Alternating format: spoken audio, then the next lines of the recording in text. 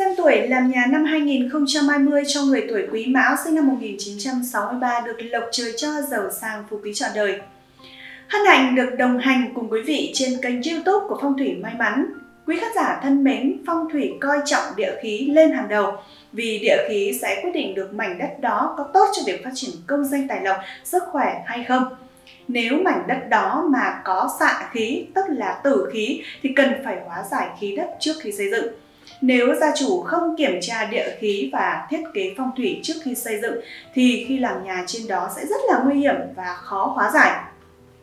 Vậy tuổi quý mão xây nhà hướng nào tốt đem lại cách lành may mắn, tài lộc cho gia chủ? Nếu như gia chủ tuổi quý mão sinh năm 1963 đang ở nhà hướng xấu thì có cách nào để hóa giải các hung tinh? Xin mời quý vị và các bạn cùng theo dõi ngay sau đây. Để xây nhà, việc đầu tiên thì ta cần phải xét đến các yếu tố kim lâu, hoang ốc, tam tai, thái tuế, tuế phá, ngũ hoàng, tam sát, mậu kỷ đô thiên, mộ long biến vận và yếu tố quan trọng nhất là phải xét đến gia chủ có hợp hướng hay không. Nếu tuổi không phạm mà hướng lại tốt thì xây không gì các bằng. Còn nếu tuổi không hợp mà đất cũng không được vận thì không gì hung họa bằng. Vì vậy cần phải hết sức cẩn thận và xem xét thật kỹ lưỡng trước khi quyết định xây nhà hay không. Trước tiên, để xây được nhà hay không thì ta sẽ đến tuổi của trạch chủ có phạm kim lâu, hoang ốc, tam tai hay không. Đầu tiên thì ta sẽ đến kim lâu. Năm 2020 canh tí gia chủ 58 tuổi. Theo cách tính này thì gia chủ sẽ không phạm phải kim lâu. Nhưng vẫn phải xét đến các yếu tố khác xem có cắt lành hay không.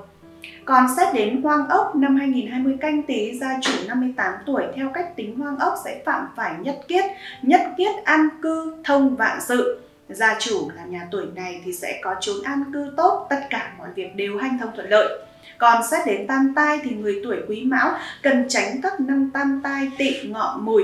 Năm làm nhà 2020 canh tí, theo cách tính thì gia chủ 1963 quý mão sẽ không phạm phải tuổi đại kỵ tam tai.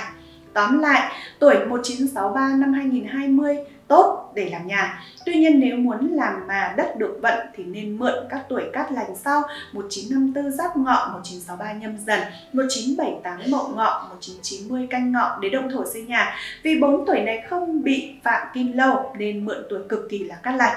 Tuy nhiên, tùy từng hướng nhà mà ta sẽ chọn những tuổi động thổ hợp với tuổi gia chủ và hợp với trạch đất sẽ được cát lành và may mắn.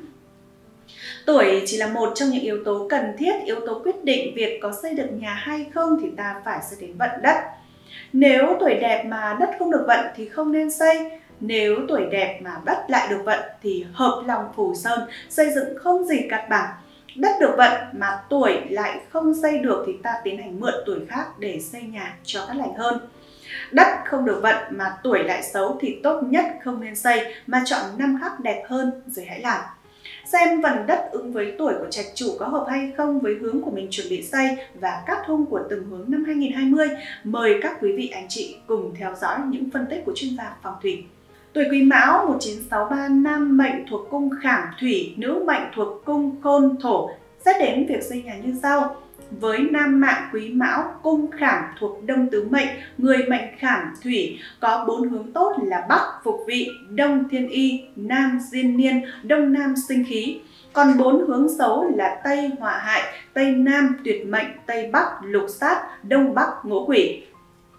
Hãy cùng phong thủy may mắn xét về các hung vận hạn của từng hướng nhé. Đầu tiên thì chúng ta cùng xét đến hướng Bắc gồm có Ba Sơn, Nhâm, Tý, Quý 337,5 độ đến 22,5 độ, Thái Tuế tại Tý, hướng Bắc là chính Thái Tuế. Với nhà tọa ngọ hướng Tý, Phạm Tuế Phá và Tam Sát hướng Phạm Thái Tuế nên tuyệt đối không được xây mới. Nhà tọa Bính hướng Nhâm Phạm Tam Sát cũng không nên xây, mà tọa Quý hướng Đinh Phạm Mộ Lòng Biến Vận Sát cũng không nên xây mới. Trong trường hợp bắt buộc phải xây mới thì cần phải được sự tư vấn từ chuyên gia phong thủy. Tuổi Quý Mão, xây nhà và ở hướng Bắc thuộc Đông Tứ Mệnh, hợp hướng, được phục vị là sao tả bồ, thuộc Mộc, hướng Đông Nam, tượng quái là tốn, chủ về khoan dung, nam giới coi trọng gia đình trị ra trước rồi mới bình thiên hạ gặp nhiều sự không thành, hao tổn tài lộc, đặt cửa giường tại phục vị đều hóa giải theo sự tư vấn của chuyên gia phong thủy. Do hướng này hợp với trạch chủ nên tốt thì hợp tốt mà xấu thì hợp xấu. Nếu tốt thì gia chủ phát rất nhanh, còn xấu thì hung họa khôn lường. Vì vậy, với hướng này cần treo trước cửa nhà pháp khí phong thủy, gương bắt quái tinh cầu. để hóa giải những sát khí và hình thế loan đầu do ngoại cảnh mang lại, giúp cho người trong nhà có được cuộc sống hòa thuận và tài lộc hơn. Hướng chúng ta cần xét đến thứ hai đó là hướng Nam gồm có ba sơn bính ngọ đinh 157,5 đến 202,5 độ. Năm 2020 xây nhà đại cát vì vậy những nhà tọa Bắc hướng Nam cố gắng tận dụng mà làm. Thời gian tốt nhất để khởi công động thổ là tháng riêng tháng 2, 4, 6, 7, 8, 9 âm lịch. Trong trường hợp cần tu tạo sửa chữa thì nên chọn tháng 2, tháng 7 âm lịch rất là cát. Cần tham khảo thêm ý kiến của chuyên gia phong thủy để được cát lành may mắn hơn. Tuổi Quý Mão xây nhà hướng này thuộc Đông Tứ Mệnh nên hợp hướng được diên niên là sao Vũ Khúc thuộc Kim hướng Tây Bắc tự quái là càn. Chủ về hòa thuận, lợi về quan hệ xã giao, vợ chồng hòa thuận, hôn nhân dễ thành, nhiều phúc lộc. Nếu thấy khó kết hôn, khó khăn vất vả nên đặt cửa giường về phía diên niên theo sự tư vấn của chuyên gia phong thủy may mắn để được hóa giải hoặc sử dụng phương pháp chấn trạch vượng lòng phù chủ trước khi làm nhà để được may mắn cát lành hơn. Trong trường hợp ngoài cảnh phía trước nhà không tốt thì ta cần phải có pháp khí phong thủy, gương bắt quái tinh cầu để hóa giải ngay lập tức, giúp cho gia chủ có được may mắn và tài lộc.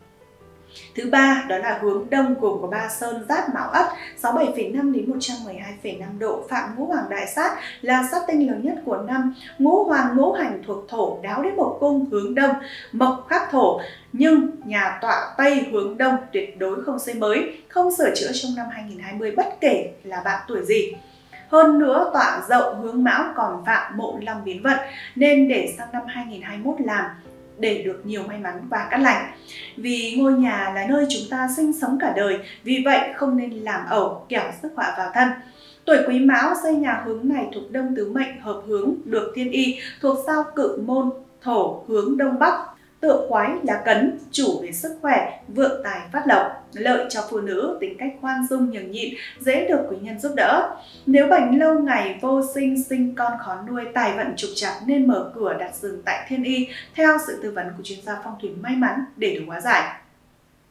Ngoài ra thì cần phải sử dụng pháp khí phong thủy, gương bắt quái tinh cầu treo ở trước cửa nhà để chấn những sát khí xấu do ngoại cảnh mang lại giúp cho gia chủ có được cuộc sống ổn định và thịnh vượng hơn.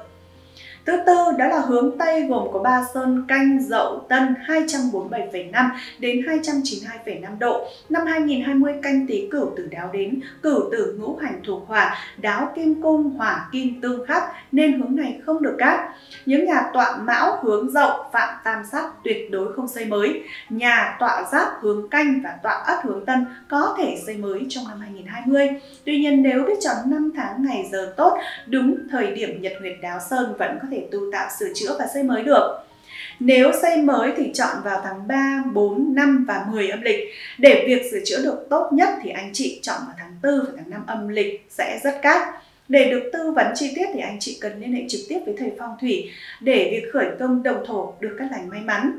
Với nam mạng quý mão xây nhà hướng này thuộc Tây Tứ Mệnh không hợp hướng bị phạm vào họa hại mà họa hại là sao lộc tồn thuộc thổ hướng Tây Nam tượng quái là khôn chủ về tổn thương, cơ thể suy yếu, dễ nản trí, cô độc nghèo khổ nên xấu vô cùng cần phải có những phương pháp hóa giải hợp lý như là nhờ thầy phong thủy giỏi, sắp xếp lại bố cục phong thủy nhà ở, đặt vị trí phòng ban hợp lý, sử dụng phương pháp chấn trạch, vượng lòng phù chủ để hóa giải trước khi xây nhà.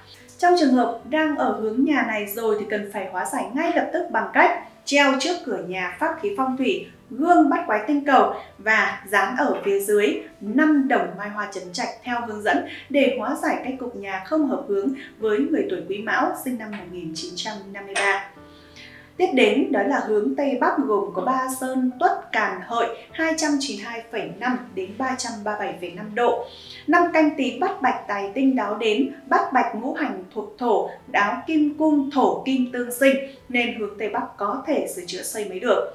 Với nhà tọa tỵ hướng hợi phạm tam sát nên tuyệt đối không được xây mới. Còn các sơn khác nếu muốn làm nên khởi công vào tháng 4, tháng 6 và 11 âm lịch sẽ rất cát. Còn nếu muốn tu tạo sửa chữa thì chọn thời điểm sau đông chí, khi đó tiết khí thay đổi làm sẽ rất cát. Tuổi Quý Mão 1963 xây nhà hướng Tây Bắc thuộc Tây, tuổi Quý Mão Nam Mạng xây nhà hướng này phạm vào lục sát Tây Tứ Mệnh nên không hợp hướng, mà lục sát là sao văn khúc thuộc thủy, tượng quái là khảm Chủ về thị phi, tâm lý rối loạn, luôn thấy bất an, không tập trung vào công việc, tài vận thì đi xuống. Vì vậy, nếu gia chủ vẫn quyết định xây và ở nhà này thì phải chọn cách hóa giải như sử dụng phương pháp chấn trạch vượng lòng phù chủ trước khi xây nhà, thiết kế lại phong thủy nhà theo đúng cách của phong thủy hoặc tìm đến những chuyên gia phong thủy nổi tiếng của phong thủy may mắn để được tư vấn trực tiếp. Trong trường hợp mà gia chủ tuổi quý mão đang ở nhà hướng Tây Bắc rồi thì cũng cần phải có cách hóa giải hợp lý bằng cách treo trước cửa nhà pháp khí phong thủy chấn trạch, gương bắt quái tinh cầu và dán ở phía dưới năm đồng mai hoa chấn trạch theo hướng dẫn để hóa giải cách cục nhà hợp lý đối với người tuổi quý mão. Tiếp theo đó là hướng Đông Bắc gồm có 3 sơn sửu cấn dần 22,5 đến 67,5 độ, năm canh tí nhất bạch tài tinh đáo đến, nhất bạch ngũ hành thuộc kim, đáo và Đông Bắc ngũ hành thuộc thổ, thổ kim tương sinh nên năm 2020 xây mới hay là tô tạo sửa chữa rất cát. Với nhà tọa thân hướng dần không nên xây mới vì hướng dần phạm mậu kỷ đô thiên sát. Anh chị xây mới chọn tháng 4, tháng 9 âm lịch. Nếu tu tạo sửa chữa chọn vào thời điểm tháng 4 và tháng 6 âm lịch. Với nam mạng quý mão 1963 xây nhà hướng này thuộc Tây Tứ Mệnh không hợp hướng, bị phạm vào ngũ quỷ mà ngũ quỷ là sao liêm trinh thuộc hỏa. Tượng quái là ly, chủ về nóng nảy, nhiều tai họa bất ngờ, tranh chấp kiện tụng, con cái thì khó dạy. Hơn nữa năm 2020, nếu xây bất chấp thì sẽ cực kỳ nguy hại cho bản thân. Theo phong thủy chính tông môn phái khuyên bạn không nên ở nhà hướng này, nếu có điều kiện nên bán đi, mua ở nơi khác cắt lành và hợp hướng với mình hơn. Về hóa giải hướng nhà xấu nếu làm được từ đầu như là sử dụng phương pháp chấn trạch vượng lòng phù chủ hoặc thiết kế lại bố cục phong thủy theo sự tư vấn của chuyên gia phong thủy may mắn cũng sẽ hóa giải được phần nào những hung họa do dài hướng nhà. Trong trường hợp tuổi quý mão đang ở nhà hướng đông bắc thì cũng cần phải hóa giải ngay lập tức bằng cách treo trước cửa nhà pháp khí phong thủy, gương bắt quái tinh cầu và dán ở phía dưới năm đồng mai hoa chấn trạch theo hướng dẫn để hóa giải cách cục nhà không hợp hướng với người tuổi quý mão. Tiếp theo đó là hướng Đông Nam gồm có ba sơn thìn tốn tỵ từ 112,5 đến 157,5 độ. Năm canh tí 2020 sau lục bạch đáo đến, lục bạch ngũ hành thuộc kim đáo và Đông Nam, ngũ hành thuộc mộc, kim mộc tương khắc không tốt. Với nhà tọa càn hướng tốn và tọa hợi hướng tỵ, phạm mộ long biến vận, không nên xây mới. Nếu xây thì chọn ngày tháng cắt lành tháng 3, tháng 4 âm lịch. Còn tọa thìn hướng tuất không phạm sát nên cứ sau đồng chí mà làm. Trong trường hợp anh chị vẫn chưa yên tâm thì hãy liên hệ trực tiếp với chuyên gia phong thủy để được tư vấn chi tiết cụ thể. Tuổi 1963 Quý Mão Nam Mạng ở hướng này thuộc Đông Tứ Mệnh hợp hướng, được sinh khí nên rất cát lành, được xếp vào hàng đại cát đại lợi vì sinh khí tượng là sao tham lam thuộc mộc hướng đông, tượng quái là chấn, chủ vì nhân ái, tài lộc, thăng quan, lợi cho đàn ông, giúp cho người ta có được sinh khí tích cực hướng lên tượng trưng cho cát tường và thuận lợi. Nếu học không vào, khó thành tài, gia cảnh xa sút đặt cửa bàn học, giường ngủ tại sinh khí sẽ hóa giải. Việc sắp xếp lại bố cục phong thủy cần phải có sự tư vấn của chuyên gia phong thủy nổi tiếng và uy tín, làm được thì sẽ cắt lành hơn. Ngoài ra với hướng này cần treo trước cửa nhà pháp khí phong thủy, gương bắt quái tinh cầu để hóa giải những sát khí và hình thế loan đầu do ngoại cảnh mang lại giúp cho người trong nhà có được cuộc sống hòa thuận và tài lộc hơn. Hướng cuối cùng mà ta xét đến đó là hướng Tây Nam gồm có 3 sơn mùi khôn thân từ 202,5 đến 247,5 độ. Năm 2020 sao tứ lục đáo đến tứ lục ngũ hành thuộc mộc, đáo đến Tây Nam ngũ hành thuộc thổ, mộc thổ tương khắc nên xây mới 2020 cũng không được cao cho lắm. Hơn nữa năm 2020 sơn thân phạm vào mậu kỷ đô thiên nên không xây được. Sơn mùi và khôn nếu xây mới thì chọn tháng vượng 3, 4, 5, 6, 9. Trong trường hợp tu tạo sửa chữa thì nên chọn tháng 9, tháng 10 khi đó tiết khí thay đổi làm sẽ rất cát. Tuổi Quý Mão 1963 xây nhà hướng Tây Nam thuộc Tây Tứ Mệnh nên không hợp hướng, bị phạm vào tuyệt mệnh mà tuyệt mệnh là sao phá quân, thuộc kim, tượng quái là đoài, chủ về xung đột khó khăn, dễ tai nạn, lắm bệnh tật. Con cái thì kém cỏi, đặt cửa ở giường ở đây dễ có chuyện thị phi, mắc bệnh khó chữa. Vì vậy tuổi quý mão khi xây nhà hướng này cần hết sức lưu ý đề phòng cần phải có những phương án hóa giải tối ưu cho người tuổi này như là nhờ thầy phong thủy giỏi về khảo sát và lập hồ sơ thiết kế phong thủy, thiết kế bố trí lại vị trí các phòng ban hợp lý, chọn năm tháng ngày giờ đẹp để làm. Ngoài ra thì sử dụng phương pháp chấn trạch vượng lòng phù chủ để hóa giải.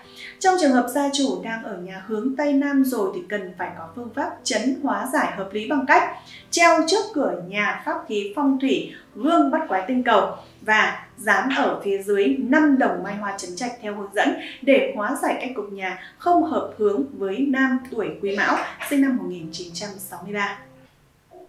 Vừa rồi thì quý vị và các bạn đã được Phong Thủy may mắn chia sẻ về kiến thức làm nhà năm 2020 cho người tuổi Quý Mão năm 1963 Nam Mạng. Còn với nữ mạng thì sao? Mời các bạn tiếp tục theo dõi video. Đối với nữ mạng quý mão cung khôn thuộc Tây tứ mệnh, người mệnh khôn thổ, bốn hướng tốt là Tây Nam phục vị, Tây thiên y, Tây Bắc diên niên, Đông Bắc sinh khí. Bốn hướng xấu, Đông họa hại, Bắc tuyệt mệnh, Nam lục sát, Đông Nam ngũ quỷ. Đầu tiên chúng ta xét đến đó là hướng Bắc gồm có ba sơn nhâm tý quý 337,5 độ đến 22,5 độ, thái tuế tại tý, hướng Bắc là chính thái tuế. Với nhà tọa ngọ hướng tý, phạm tuế phá và tam sát, hướng phạm thái tuế nên tuyệt đối không được xây mới. Nhà tọa bính hướng nhâm phạm tam sát cũng không nên xây. Nhà tọa quý hướng đinh phạm mộ long bính vận sát cũng không nên xây mới. Trong trường hợp bắt buộc phải xây mới thì cần phải có sự tư vấn từ chuyên gia phong thủy. Tuổi Quý Mão 1963 nữ mạng xây nhà hướng Bắc thuộc Đông Tứ Mệnh nên không hợp hướng, bị phạm vào tuyệt mệnh. Mà tuyệt mệnh là sao phá quân thuộc Kim tượng quái là đoài, chủ về xung đột, nhiều khó khăn, dễ tai nạn, lắm bệnh tật, con cái thì kém cỏi. Đặt giường, cửa ở đây, dễ có chuyện thị phi, mắc bệnh khó chữa. Vì vậy, tuổi quý mão khi xây nhà hướng này thì cần hết sức lưu ý đề phòng cần phải có những phương án hóa giải tối ưu cho người tuổi này như nhờ thầy phong thủy giỏi về khảo sát và lập hồ sơ thiết kế phong thủy để thiết kế bố trí lại vị trí các phòng ban sao cho hợp lý, chọn năm tháng ngày giờ đẹp để làm. Ngoài ra thì sử dụng phương pháp chấn trạch vượng lòng phù chủ để hóa giải. Trong trường hợp gia chủ đang ở nhà hướng Bắc rồi thì cần phải có phương pháp chấn hóa giải hợp lý bằng cách treo trước cửa nhà pháp khí phong thủy, gương bắt quái tinh cầu và dán ở phía dưới 5 đồng mai hoa trấn trạch theo hướng dẫn để hóa giải cách cục nhà không hợp hướng với người tuổi Quý Mão 1963. Thứ hai đó là hướng Nam gồm có 3 sơn bính ngọ đinh 157,5 đến 202,5 độ. Năm 2020 xây nhà Đại Cát vì vậy những nhà tọa Bắc hướng Nam cố gắng tận dụng mà làm. Thời gian tốt nhất để khởi công động thổ là tháng riêng 2, 4, 6, 7, 8, 9 âm lịch. Trong trường hợp cần tu tạo sửa chữa thì nên chọn tháng 2 và 7 âm lịch sẽ rất cát. Cần tham khảo thêm ý kiến của chuyên gia phong thủy để được cắt lành may mắn hơn. Tuổi quý mão, nữ mạng xây nhà hướng này phạm và lục sát thuộc đông tứ mệnh nên không hợp hướng, mà lục sát là sao văn khúc thuộc thủy, tự quái là khảm chủ về chuyện thị phi, tâm lý rối loạn, luôn cảm thấy bất an, không tập trung, công việc và tài vận đi xuống. Vì vậy nếu mà gia chủ vẫn quyết định xây và ở trong nhà này thì phải sử dụng cách hóa giải như sử dụng phương pháp chấn trạch vượng long phù chủ trước khi xây nhà, thiết kế lại phong thủy nhà theo đúng cách của phong thủy hoặc là tìm đến những chuyên gia phong thủy nổi tiếng của phong thủy may mắn để được tư vấn trực tiếp. Trong trường hợp mà gia chủ tuổi quý mão đang ở nhà hướng nam rồi thì cũng cần phải có cách hóa giải hợp lý bằng cách treo trước cửa nhà pháp khí phong thủy, chấn trạch gương bắt quái tinh cầu và dán ở phía dưới 5 đồng mai hoa chấn trạch theo hướng dẫn để có thể hóa giải cách cục nhà không hợp hướng với người tuổi quý mão sinh năm 1953. Tiếp theo đó là hướng đông gồm có ba sơn giáp mão ất 67,5 đến 112,5 độ phạm ngũ hoàng đại sát là sát tinh lớn nhất của năm. Ngũ hoàng ngũ hành thuộc thổ đáo đến mộc cung hướng đông, mộc khắc thổ nên nhà tọa Tây hướng Đông thì tuyệt đối không được xây mới, không sửa chữa trong năm 2020 bất kể là bạn tuổi gì. Hơn nữa, tọa dậu hướng mão còn phạm mộ long biến vận nên để sang năm 2021 hãy làm để được nhiều may mắn và cát lành.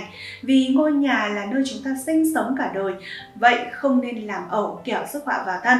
Người tuổi Quý Mão 1963 nữ mạng mà ở nhà hướng này thuộc đông tứ mệnh không hợp hướng, bị phạm vào họa hại mà họa hại là sao lộc tồn, thuộc thổ hướng Tây Nam tượng quái là khôn, chủ về tổn thương cơ thể suy yếu dễ nản trí, cô độc nghèo khổ nên xấu vô cùng cần phải có những phương pháp hóa giải hợp lý như nhờ thầy phong thủy giỏi sắp xếp lại bố cục phong thủy nhà ở, đặt vị trí phòng ban hợp lý, sử dụng phương pháp chấn trạch vượng lòng phù chủ để hóa giải trước khi xây nhà. Trong trường hợp bạn đang ở hướng nhà này rồi thì phải hóa giải ngay lập tức bằng cách treo trước cửa nhà pháp khí phong thủy, gương bất quái tinh cầu và dán ở phía dưới 5 đồng mai hoa chấn trạch theo hướng dẫn để có thể hóa giải cách cục nhà không hợp hướng với người tuổi Quý Mão sinh năm 1963. Tiếp theo đó là hướng Tây gồm có 3 sơn canh dậu tân 247,5 đến 292,5 độ, năm canh tý cửu tử đáo đến cửu tử ngũ hành thuộc hỏa, đáo kim cung hỏa kim tương khắc nên hướng này không được cát.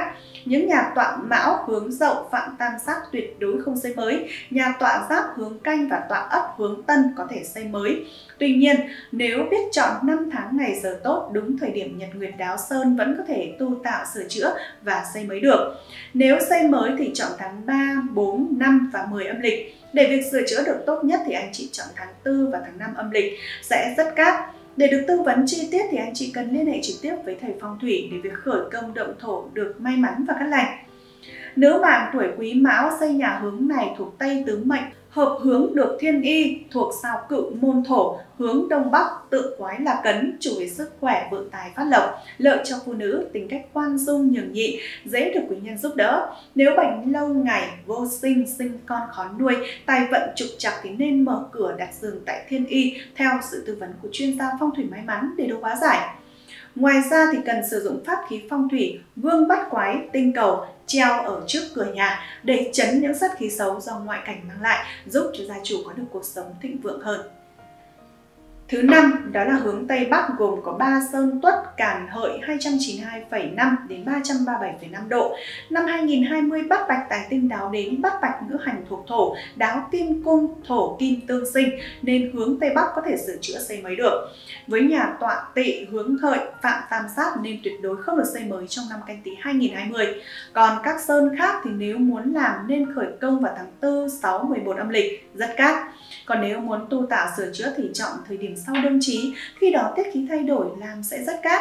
Còn tuổi quý mão nữ mạng xây nhà hướng này thuộc Tây Tứ Mệnh nên hợp hướng được diên niên là sao vỗ khúc thuộc Kim hướng Tây Bắc tượng quái là càn. Chủ về hòa thuận, lợi về quan hệ xã giao, vợ chồng hòa thuận, hôn nhân dễ thành, nhiều phúc lộc. Nếu thấy khó kết hôn hay là khó khăn vất vả thì nên đặt cửa giường về phía diên niên theo sự tư vấn của chuyên gia phong thủy may mắn để được hóa giải hoặc sử dụng phương pháp chấn trạch vượng lòng phù chủ trước khi làm nhà để được may mắn cát lành hơn. Trong trường hợp ngoại cảnh phía trước nhà không tốt thì ta cần phải có pháp khí phong thủy, gương bắt quái tinh cầu để hóa giải ngay lập tức giúp cho gia chủ có được may mắn và tài lộc.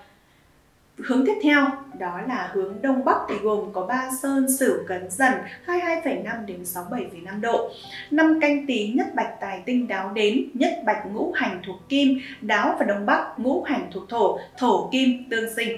Nên năm 2020 xây mới là tu tạo sửa chữa rất cát.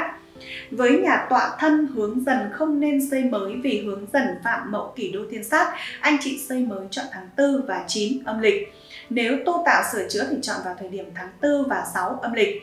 Tuổi quý mão nữ mạng ở hướng này thuộc Tây Tứ Mệnh hợp hướng, được sinh khí nên rất cát lành, được xếp vào hàng đại cát đại lợi. Vì sinh khí tượng là sao tham lang thuộc mộc hướng đông, tượng quái là chấn, chủ về nhân ái, tài lộc, thăng quan, lợi cho đàn ông, giúp cho người ta có được sinh khí tích cực hướng lên tượng trưng cho các từ và thuận lợi. Nếu học không vào, khó thành tài, gia cảnh xa sút thì đặt cửa bàn học, giường ngủ tại sinh khí sẽ hóa giải. Việc sắp xếp lại bố cục phong thủy cần phải có sự tư vấn của chuyên gia phong thủy nổi tiếng và uy tín, làm được sẽ cắt lành hơn.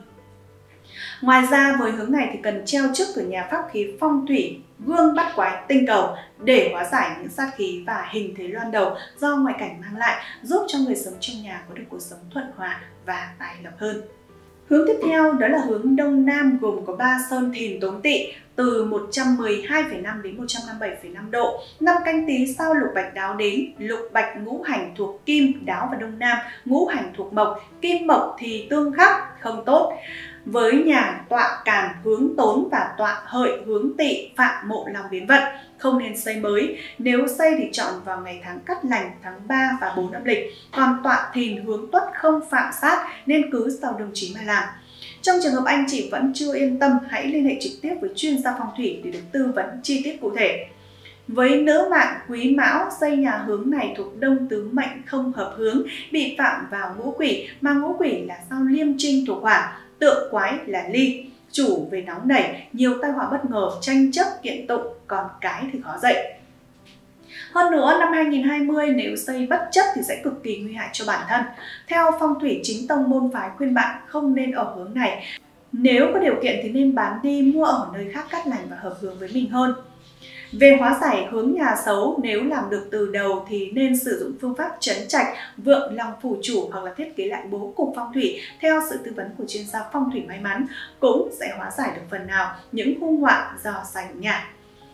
Trong trường hợp tuổi quý mão đang ở nhà hướng đông nam thì cũng cần phải hóa giải ngay lập tức bằng cách treo trước cửa nhà pháp khí, gương phong thủy, tinh cầu và dán ở phía dưới năm đồng mai hoa chấn trạch theo hướng dẫn để có thể hóa giải cách cục nhà không hợp hướng với người tuổi quý mão sinh năm 1963. Và hướng cuối cùng chúng ta cần xét đến đó là hướng Tây Nam gồm có ba sơn Khôn, Mùi, Thân từ 202,5 đến 247,5 độ. Năm canh tí sao tứ lục đáo đến tứ lục ngũ hành thuộc mộc, đáo đến Tây Nam ngũ hành thuộc thổ. Mộc thổ tương khắc nên xây mới năm 2020 cũng không được cao cho lắm. Hơn nữa năm 2020 sơn thân phạm vào mậu tỷ đô thiên nên không xây được. Sơn mùi và khôn nếu xây mới thì chọn vào tháng vượng 3, 4, 5, 6 và 9. Trong trường hợp tu tạo sửa chữa nên chọn tháng 9 và 10, khi đó tiết khí thay đổi làm sẽ rất cát. Tuổi quý mão xây nhà và ở hướng Tây Nam thuộc Tây tứ mệnh hợp hướng được phục vị là sao tả bồ thuộc mộc hướng Đông Nam tự quái là tốn chủ về khoan dung nam giới thì coi trọng gia đình trị ra trước rồi mới bình thiên hạ gặp nhiều sự không thành, hao tổn tài lộc, đặt cửa dương tại phục vị để có thể hóa giải theo sự tư vấn của chuyên gia phong thủy. Do hướng này hợp với trạch chủ nên tốt thì hợp tốt, còn xấu thì hợp xấu. Nếu tốt thì gia chủ phát rất nhanh, còn xấu thì hung họa khôn lường. Vì vậy, với hướng này thì cần treo trước cửa nhà pháp khí phong thủy, gương bắt quái tinh cầu để có thể hóa giải những sát khí và hình thế loan đầu do ngoại cảnh mang lại, giúp cho người trong nhà có được cuộc sống thuận hòa và tài lộc hơn. Quý vị thân mến, mỗi ngôi nhà xây nên là biết bao mồ hôi, công sức, tiền bạc của cả gia đình đổ xuống. Chính vì thế mà mỗi người cần phải đặc biệt lưu ý khi chọn tuổi làm nhà, chọn hướng nhà sao cho bình an may mắn. Rất cảm ơn quý vị đã và đang đồng hành cùng Phong thủy may mắn trong những phút vừa qua. Mọi đóng góp cho chương trình, quý vị hãy gửi đến chúng tôi bằng cách bình luận ngay bên dưới video này nhé.